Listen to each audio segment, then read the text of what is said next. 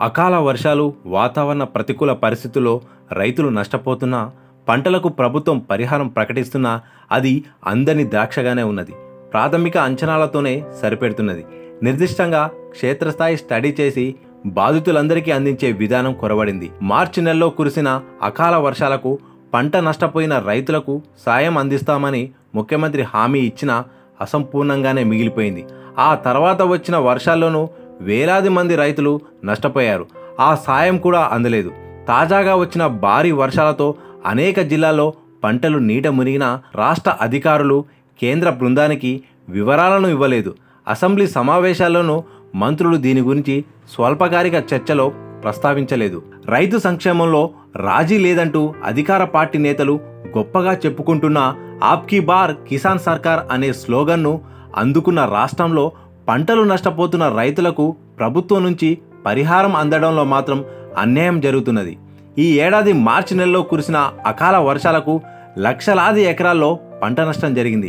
స్వయంగా ముఖ్యమంత్రి బాధిత ప్రాంతాల్లో పర్యటించి ఒక్కో ఎకరానికి పదివేల రూపాయల చొప్పున పరిహారాన్ని అందించనున్నట్లు ప్రకటించారు. ఆ సమయానికి రాష్ట్రంలో మొత్తం రెండు లక్షల ఇరవై ఎనిమిది వేల ఎకరాల్లో పంట నష్టం జరిగినట్టు ఉదాహరించి రెండు వందల ఇరవై ఎనిమిది కోట్లను కేటాయిస్తున్నట్లు హామీ ఇచ్చారు. ఇందులో నూట యాభై ఒకటి కోట్లను ప్రభుత్వం విడుదల చేసింది. మిగిలినది పెండింగ్లో పడిపోయింది. ఆ తర్వాత కూడా అకాల వర్షాలు వడగండ్ల వానతో చాలామంది రైతుల వరి పంట కళ్ళ ముందే పనికి రాకుండా పోయింది.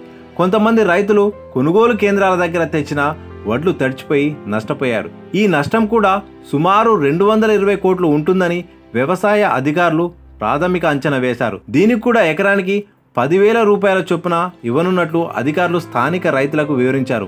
మొత్తంగా సుమారు నాలుగు వందల యాభై కోట్ల మేర రైతులకు పరిహారం రూపంలో పంపిణీ చేయనున్నట్లు మంత్రులు స్టేట్మెంట్ ఇచ్చారు. కానీ చివరకు అందులో మూడో వంతు మాత్రమే సాకారమైంది. ప్రాథమిక అంచనాల స్థానంలో గ్రామాల వారి స్టడీ పూర్తి కాకపోవడంతో పంపిణీలోనూ చిక్కులు ఎదురవుతున్నాయి. తాజాగా కురిసిన భారీ వర్షాలతో గ్రామాలు నీట మురవడంతో పాటు లక్షలాది ఎకరాల్లో ప్రారంభ దశలో ఉన్న వరి పత్తి తదితర పంటలు ధ్వంసమయ్యాయి.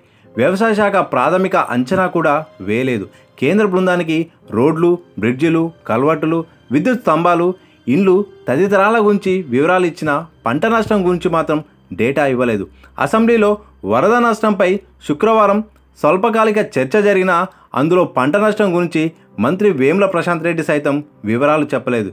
ఇప్పుడిప్పుడే వివరాలను సేకరిస్తున్నామని చెప్తూనే వరి పంటకు నష్టం జరిగే అవకాశం లేదని వ్యాఖ్యానించారు. సాగు భూముల్లో పేరుకుపోయిన ఇసుక మేటలను తొలగించే పనిని గ్రామీణ ఉపాధి హామీ పనులకు అటాచ్ చేస్తున్నట్టు తెలిపారు. పంట నష్ట పరిహారం గురించి ఓ సీనియర్ అధికారి వ్యాఖ్యానిస్తూ మూడేళ్ళుగా నిర్దిష్టమైన పంట నష్ట వివరాలను ప్రభుత్వం సేకరించడం లేదని పేర్కొన్నారు.